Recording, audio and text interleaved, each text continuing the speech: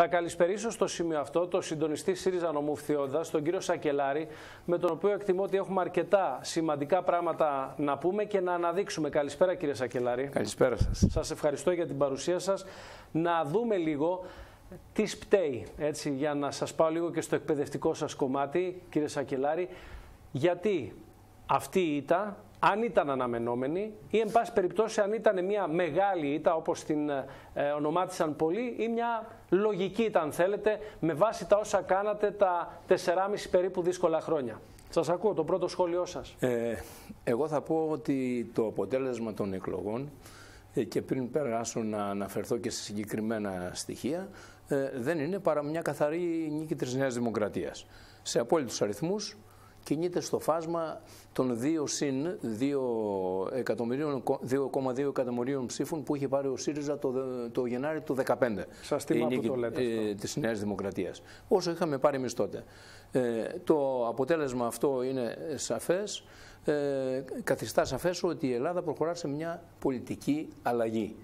Γιατί, Γιατί όταν αναλάβαμε τη διακυβέρνηση ε, είχαμε κλείσει την τετραετία του 15-19 ε, με μια σειρά εντυπωσιακών ε, γεγονότων ε, για τη χώρα μας. θα τα αναφέρω αργότερα, δεν χρειάζεται να πω. Θα τα πούμε και ναι. εκεί φάνηκε καθαρά ότι εμείς είχαμε επιτύχει μια πολιτική αλλαγή και βαδίζουμε προς μια άλλη πολιτική αλλαγή. Ε, άρα τα πράγματα ε, μπαίνουν σε ένα νέο, κάτω από νέο, ε, στη θέασή τους μπαίνει κάτω από νέο πρίσμα, από νέους Θεωρείτε ότι ο κόσμος σας τιμώρησε κύριε Σακελάρη για τα δύσκολα μέτρα ή τους συμβιβασμούς όπως είπατε που κάνατε, αναγκαστήκατε να κάνετε; Ε, το έχουμε πει αυτό, δεν χρειάζεται να το επαναλάβω. Θεωρώ όμως πως ο ΣΥΡΙΖΑ αυτή τη στιγμή, έτσι όπως έχουν τα πράγματα ναι. ε, και αμέσως μετά τις εκλογές, είναι η πρώτη πολιτική δύναμη μετά από το 2010 που διατηρεί τη δυναμική της από τότε ε, όταν το Πασόκ είχε εξαϊλωθεί όπως έχω πει σε προηγούμενη εκπομπή σας ε, μετά από την εφαρμογή του δημοσιονομικού προγράμματος και η Νέα Δημοκρατία είχε φτάσει στο 19% ε, το Μάιο του 2012 ο ΣΥΡΙΖΑ πήρε σε αυτές τις εκλογές 1,9 εκατομμύρια ψήφους. Ε, το, συγγνώμη, το 2015 και ένα 1,8 ναι. ψήφους λιγότερους σε τούτη εδώ την εκλογική μάχη που με δεδομένη τη διαφορά της συμμετοχής του, των ψηφοφόρων στην εκλογική διαδικασία ε, είναι περίπου στα ίδια επίπεδα. Αυτό δεν σημαίνει απλά μια διατήρηση γιατί είχαμε μπει και σε ένα πεδίο όπου υπήρξε μια ε, ασύστολη επίθεση με fake news και προσπάθεια δημιουργίας μιας υγειονομικής, να το πω έτσι, ζώνης ανάμεσα ε, στο ΣΥΡΙΖΑ που τον θεωρούσαν καταστροφή, όπως έλεγαν, και ε, στη Νέα Δημοκρατία που ήθελε να ε, κυριαρχήσει στα, πράγματα, στα πολιτικά πράγματα του τόπου. Η επιστροφή, ε, ε, αυτά τα ποσοστά που πήρε ο ΣΥΡΙΖΑ, το 31,53% για την ακρίβεια, ε, παρά και τις ε, την αποτυχία και τούτη τη φορά των, ε, των δημοσκοπήσεων και των exit polls ε, που είχαν πέσει την ημέρα των εκλογών λίγο, ναι. είναι ο κύριος αδιαμφισβήτητα ο κύριος εκφραστής των αριστερών, των προοδευτικών και δημοκρατικών δυνάμεων της χώρας. Και αυτό λέει πάρα πολλά πράγματα. Η επιστροφή της χώρας στην κανονικότητα ναι. που πετύχαμε μετά τα μνημόνια εμείς, γιατί πήγαμε σε εκλογές ο κόσμος που πήγαινε ε, στις εκλογές δεν είχε πολύ καταλάβει ότι πήγαινε με, ε, σε ένα κλίμα τελείως διαφορετικό και με άνεση να ψηφίσει. Μετά τα μνημόνια, ο τρομαγμένος κόσμος στην περίοδο των μνημονίων πήγαινε με άνεση να ψηφίσει και να κάνει τις επιλογές του. Και αυτές τις σεβόμαστε, θεωρούμε ότι είναι λάθος και θα κάνουμε ότι είναι δυνατό να πείσουμε αυτούς που ψήφισαν, που δεν μας ψήφισαν ε, αυτή τη φορά ε, να ε, έρθουν στο πλευρό μας τις μάχες που έρχονται. Πάντως είναι αλήθεια ότι κρατήσατε τα ποσοστά σας, δηλαδή δεν είναι μια μεγάλη νίκη της Νέας Δημοκρατίας η βαριά ήττα του ΣΥΡΙΖΑ. Κρατηθήκατε στο πολιτικό προσκήνιο, θέλω να πω κύριε Σακελάρη. Είναι 8 μονάδες η διαφορά και αυτό σημαίνει ότι είστε πρωταγωνιστές, δευτεραγωνιστές αν θέλετε, είστε αντιπολίτευση για να παρακολουθείτε βήμα-βήμα το τι θα κάνει η νέα κυβέρνηση κύριε Σακελάρη. Δεν ξέρω μόνο να ρωτήσω αν ε, υπήρξαν εγκρίνιες Όχι, ή αν υπάρχει αμφισβήτηση Λένε πολύ όχι. Το κεφάλαιο Αλέξης Τσίπρας είναι το κορυφαίο που έχει αυτή τη στιγμή ο ΣΥΡΙΖΑ και με αυτό θα πορευτεί. Η χώρα. Η χώρα. η χώρα και ο ΣΥΡΙΖΑ, λοιπόν. Βεβαίως και λοιπόν, στα πολιτικά πράγματα είναι και ναι, για τη χώρα. Σωστά. Κοιτάξτε, η επιστροφή στην κανονικότητα, για να συνεχίσω από εκεί που σταμάτησα, ε, αποτυπώνει ένα καινούριο πολιτικό, ε, μια, μια καινούρια πολιτική κατάσταση στη χώρα, ένα καινούριο πολιτικό σκηνικό. Υπάρχουν αυτή τη στιγμή δύο ισχυροί, ισχυρότατοι πολιτικοί πόλοι. Ένας συντηρητικός και ένας προοδευτικός. Είναι η Νέα Δημοκρατία και ο ΣΥΡΙΖΑ. Συγκεντρώνουν 71% και κάτι ε, το, του των ποσοστών, ε, πράγμα το οποίο δεν έχει ξανασυμβεί από το 2009 και μετά. Αυτό καταλαβαίνετε ότι είναι κάτι πολύ Πάντως σημαντικό. Είχαμε και μια μεγάλη αποχή. Πρέπει να το επισημάνουμε αυτό, βεβαίως, κύριε Σακελάρη, γιατί και η αποχή διαμορφώνει. Αυτοί που δεν πήγανε δεν ξέρουμε τι θα ψηφίζανε, να το πω έτσι πολύ Αυτοί απλά. Αυτοί δεν με, πήραν μέρος παρά μόνο με την αποχή τους, που έδειξε και μια, ε, ε μια στάση. Η οποία ευνοεί το, πρω, το πρώτο κόμμα, έτσι Αλλά και μια πορεία των εξελίξεων που πρέπει να μας προβληματίσει όλους ναι. ε, για να κερδίσουμε αυτόν τον κόσμο, γιατί ο κόσμος αυτός ε, έδωσε στοιχεία, έδωσε δείγματα ε, έκανε σινιάλα τα οποία πρέπει να τα πάρουμε υπόψη μας.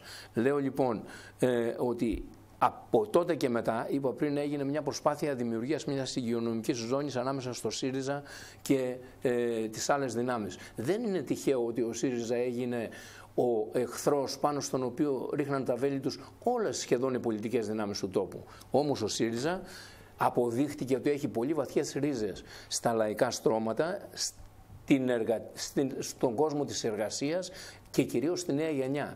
Θυμηθείτε ότι τα αποτελέσματα των exit polls πέσαν έξω και γιατί το απόγευμα ένα τεράστιο κομμάτι της νέας γενιάς προσήλθε για να ψηφίσει. Ε, εμείς είμαστε βέβαιοι και θα παλέψουμε να μπορέσουμε να κερδίσουμε αυτόν τον κόσμο ο οποίος απήχε ακόμα και αυτή τη φορά ε, ή έκανε άλλες επιλογές στην κάλπη Νέα Δημοκρατία, η Κινάλ, η Κουκουέ ή άλλους, θα τον πείσουμε να τον κερδίσουμε και να παλέψει μαζί για τις δικές μας επιλογές και προτάσεις. Εγώ να πω μόνο, ναι. ε, κύριε Σακελάρη, μιας και αναφέρατε για το Κινάλ, ένας στόχος λέει που ε, είναι για το ΣΥΡΙΖΑ και τον έχετε ξεκινήσει είναι να αποδυναμώσετε μια δεξαμενή για το ΣΥΡΙΖΑ ήταν στελέχη του ΠΑΣΟΚ, ή δυνατόν να το εξαϊλώσετε από τον πολιτικό χώρο και να εισπράξετε τα περισσότερα στελέχη. Μαριλίζα Ξενογιανακοπούλου, μην αρχίσω και λέω τώρα. Ναι, ε, να τα πείτε, γιατί είναι ε, Όχι, εξέχοντα μέλη της πολιτικής. Με την προσέγγιση που κάνουν ότι ο ναι, ΣΥΡΙΖΑ θέλει ακούστε, να ακούστε, χαλάσει, να ρημάξει το Πασόκ και να ναι. μετατραπεί αυτό σε ένα νέο Πασόκ, κύριε Σαγκελάρη. Να σας πω. Ε, ο ΣΥΡΙΖΑ τελείωσε. Παρέδωσε μια χώρα τελείωσε να είναι, έπαψε να είναι κυβέρνηση. κυβέρνηση είναι ναι. μια ισχυρότατη πολιτική δύναμη από εδώ και πέρα. Και ισχυρότατη πολιτική δύναμη αντιπολίτευσης παραδίδει μια χώρα υγιέστατη δημοσιονομικά, με ρυθμισμένο χρέος, με 9 συνεχόμενα τρίμηνα ανάπτυξης, με 400.000 θέσεις εργασίας ε, και με βιώσιμο ασφαλιστικό που θέλουν. Τα αναφέρω αυτά συγκεκριμένα γιατί είναι σημεία που θα παίξει το παιχνίδι Πείτε το και, και κόντρα πάρα ναι. πολύ. Και ένα ανασυγκροτημένο απολύτως κοινωνικό κράτος. Και φυσικά μια χώρα η οποία είναι απολύτως αναβαθμισμένη και έχει μεγάλο κύρος και τεράστια ισχύ διεθνώς πια. Αυτά τα επιτέγματα προεκλογικά ήταν η Νέα Δημοκρατία που τα είχε βαφτίσει πεπραγμένα σε εισαγωγικά βάζω εγώ της χειρότερης μεταπολιτικής κυβέρνησης. Αυτό έλεγε.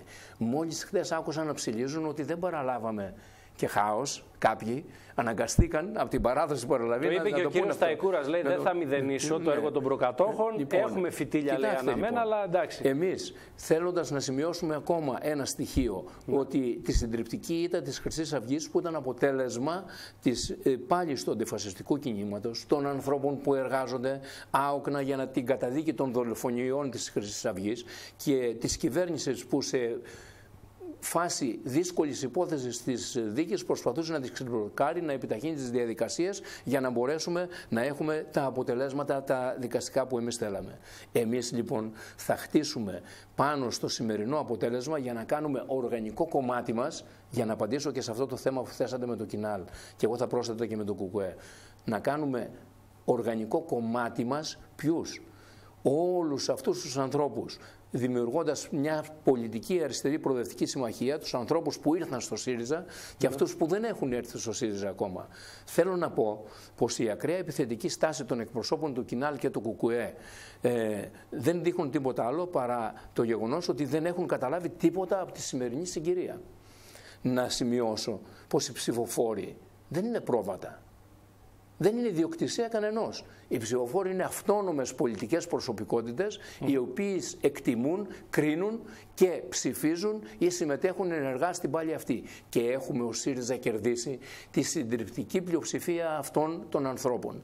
Άρα αυτοί οι άνθρωποι είναι η μεγάλη μας δύναμη για την επόμενη φάση. Να πω δε πως το Κινάλ και το Κουκουέ συνεχίζουν να έχουν στο απειρόβλητο τη Νέα Δημοκρατία και σήμερα θα ακούσατε ανακοινώσεις του Κινάλ και του Κουκουέ και επιτίθεται στο ΣΥΡΙΖΑ ενώ εμείς αντίθετα εκείνο που επιδιώκουμε τι; Είναι ακριβώς το αντίστροφο. Ο διάλογος των προοδευτικών δυνάμεων ώστε να δημιουργήσουμε ε, μια μεγάλη συμμαχία μέσα στα πλαίσια αυτού του αντινεοφιλελεύθερου ε, ε, μετόπου το οποίο είμαστε σίγουροι πως θα κερδίσει τις επόμενες εκλογές και θα φέρει στη δύσκολη θέση την ε, νέα κυβέρνηση.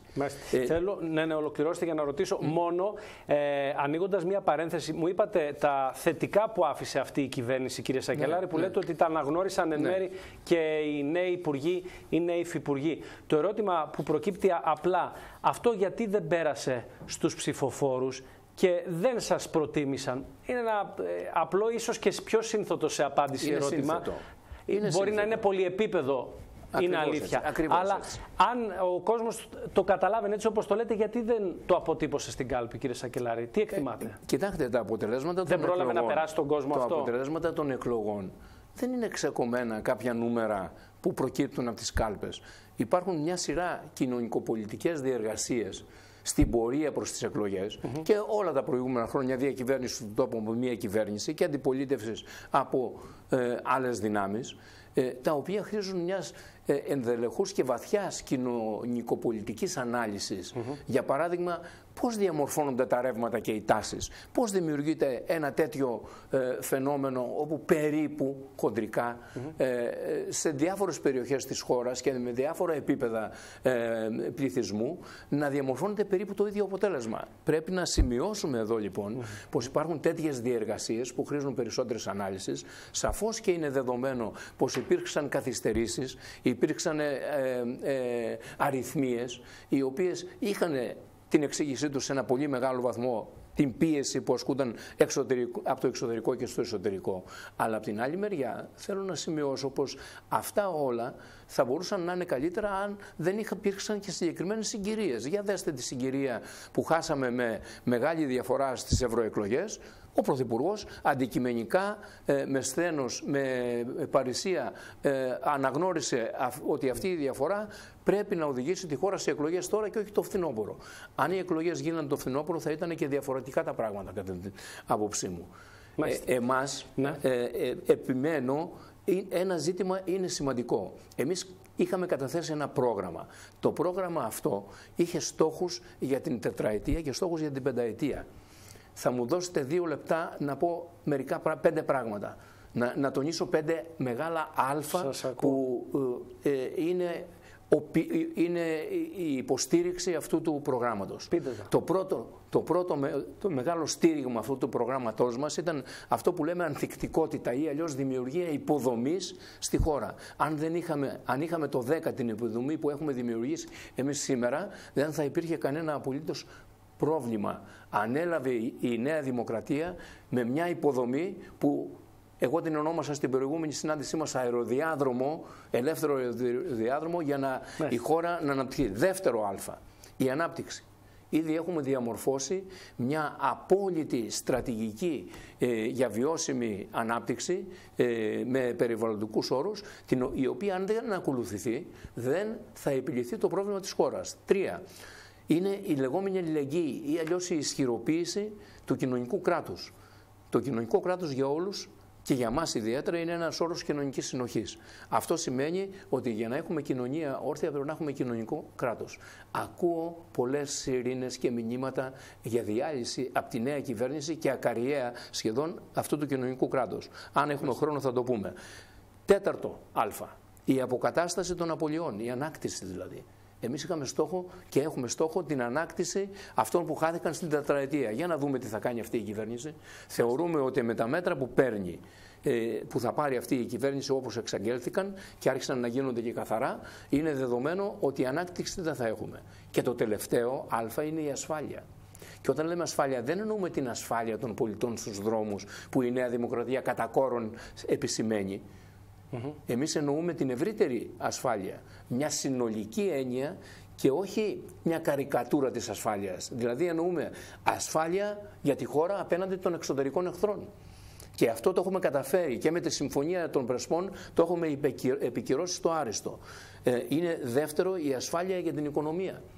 Αν έχουμε οικονομικό πρόβλημα σαν αυτό που έχει εξαγγελθεί από τη Νέα Δημοκρατία, προφανές Προφανές είναι ότι η οικονομία μας δεν θα έχει ασφαλή πορεία. Και το τρίτο που αφορά στην ασφάλεια είναι ασφάλεια για την κοινωνία. Και ασφάλεια για την κοινωνία δεν είναι μόνο ο δρόμος, είναι και η προστασία της σε σχέση με την μισθούς, είναι η προστασία της από τους ε, επίδοξους καταστροφής του μισθού. Δέστε ο ΣΕΒ σήμερα βγήκε και πάει στο Συμβούλιο της Επικρατείας ένσταση για την αύξηση των τριετιών που η κυβέρνηση έχει επιβάλει. Καταλαβαίνετε λοιπόν ότι χωρίς αυτά υπάρχει ένα τεράστιο ζήτημα. Γι' αυτό εμείς θα κάνουμε μια επικοδομητική μεν, όμως δεδομένα αντινεοφιλελεύθερη κριτική, αλλά και επιθετική ε, αντιπολίτευση στην κυβέρνηση και στη Βουλή και στην κοινωνία και στο πολιτικό γίγνεσθε της χώρας μας. Πάμε λίγο τώρα... Γιατί θεωρούμε, ναι, για να ναι, ναι. τελειώσω, ότι όλα τα παραπάνω που είπα και πολύ γρήγορα συνιστούν τη μεγάλη μας διαφορά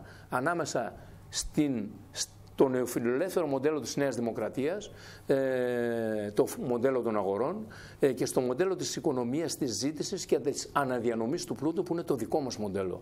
Είναι το μοντέλο δηλαδή της αριστεράς. Εδώ υπάρχει η αντιπαράθεση των δύο πόλων και εδώ θα κρυθούν τα πάντα.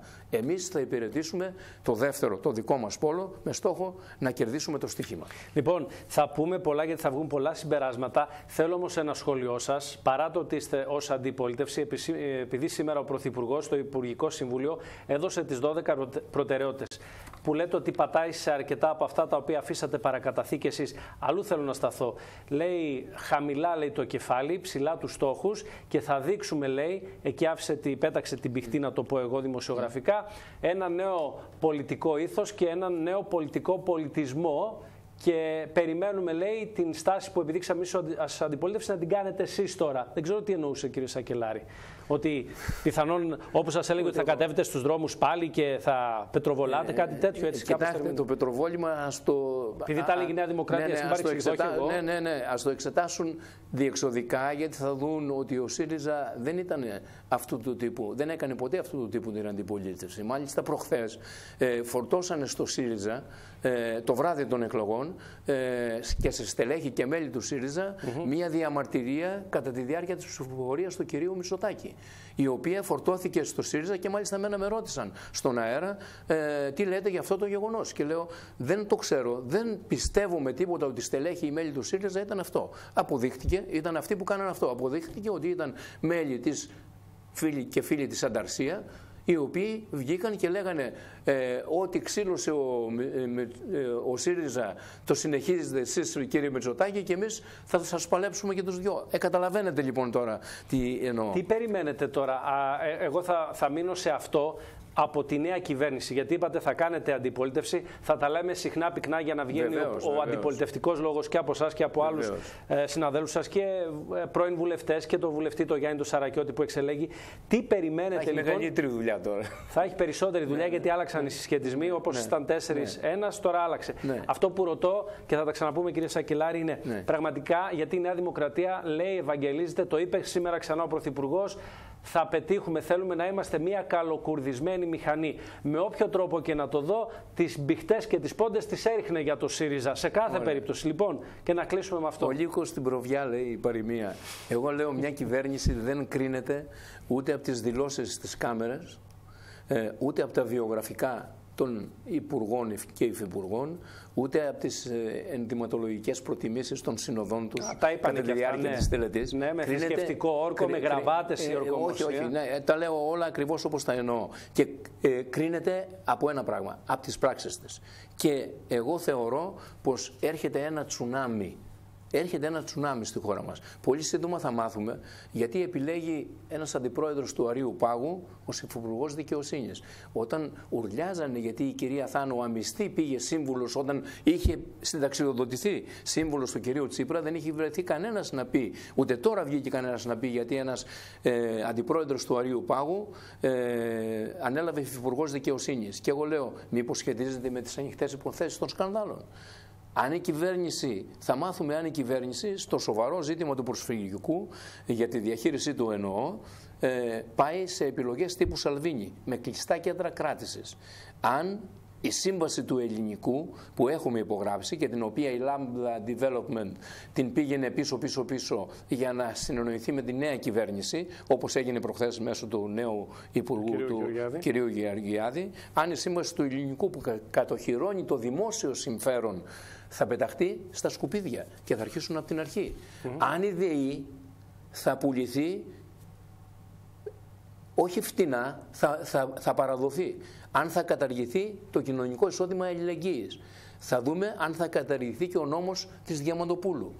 Εκείνο που φαίνεται είναι ότι το δείγμα γραφής της κυβέρνησης κρίθηκε εν μέρη σήμερα τουλάχιστον με την πρώτη πράξη της κυβέρνησης και από ένα μόνο γεγονός προβλέπει ένα, ε, η, κατάθεση που έγινε του πρώτου ε, ε, φίλου ε, της κυβέρνησης, ναι. ε, του ΦΕΚ, προβλέπει την απευθείας υπαγωγή της ΕΡΤ και του Αθηναϊκού Πρακτορείου Ειδήσεων στον Πρωθυπουργό. Κατανοείτε τι σημαίνει αυτό; Ναι. Θα μπορούσε να το έχει ένας υφυπουργός. Αλλά η προτίμηση να την πάρει ο, Πρωθυπουργός στα χέρια του ναι. μαζί με την ομάδα αλήθειας της Νέας Δημοκρατίας, καταλαβαίνετε ότι αυτό είναι τεράστιο. Το είπε η Αυγή ναι. σήμερα με ένα πρωτοσελίδο της για Βόρεια θέλω Κορέα. να κλείσω με δύο ιστερόγραφα. Ναι. Ε, όλοι αυτοί οι διαπρεπείς νομικοί, οι συνταγματολόγοι, οι δημοσιογράφοι που επί δεν άφηναν τίποτα να πέσει κάτω, ε, όταν διαμαρτύρονταν για την κυρία Θάνο, θα δω αν έχουν το θάρρος να πούν κάτι για τους νομικούς αλλά και άλλους ε, που θα αναλάβουν βαρύς χώρους ε, είτε αφορούν το σοφρονητικό σύστημα είτε την μεταναστευτική πολιτική και πού θα καταλήξουμε. Και δεύτερο ιστερόγραφο. Όλοι αυτοί οι διαπρεπείς νομικοί, σχολιαστές κλπ. Ε, σε κάθε ε, περίπτωση θα μιλήσουν καθόλου ή θα ενοχληθούν που ο κύριος Μητσοτάκης υπουργοποίησε ε, μέχρι πριν 8 μέρες αντιπρόεδρο του Αρίου Πάγου που είπα πριν. Είναι πολύ σημαντικό ζήτημα. Και βέβαια και άλλα ζητήματα. Έχουμε ραγδαίες εξελίξεις. Τις παρακολουθείτε ε, και εσείς. Ε, στο Υπουργείο Προστασίας του Πολίτη, παρέτηση. Καρατόμηση. Ε, καρατόμηση του αρχηγού της Ελλάδα. Άρχισαν τα όργανα με το ΣΕΒ που είπα πριν, που προσέφηκε στο Συμβούλιο της Επικρατείας κατά της αύξησης των τριετιών και δεν κρύβεται ο, ο έρωτας για το ελληνικό με τη Lambda Development. Μάλιστα. Όλα αυτά είναι τεράστια ζητήματα και όχι στιγμιαία, αλλά δείγματα γραφής. Και εμείς εδώ είμαστε. Εμείς όπως δώσαμε βήμα σε όλους θα εξακολουθούμε να το κάνουμε για να ξέρει ο ελληνικός λαός και ο φθιωτικός τι ακριβώς συμβαίνει. Κύριε Σακελάρη, σας ευχαριστώ για την πρώτη αποτίμηση του εκλογικού αποτέλεσματος και για την περιοχή μας, αλλά συνολικότερα σε όλη τη χώρα. Καλό βράδυ να είστε καλά.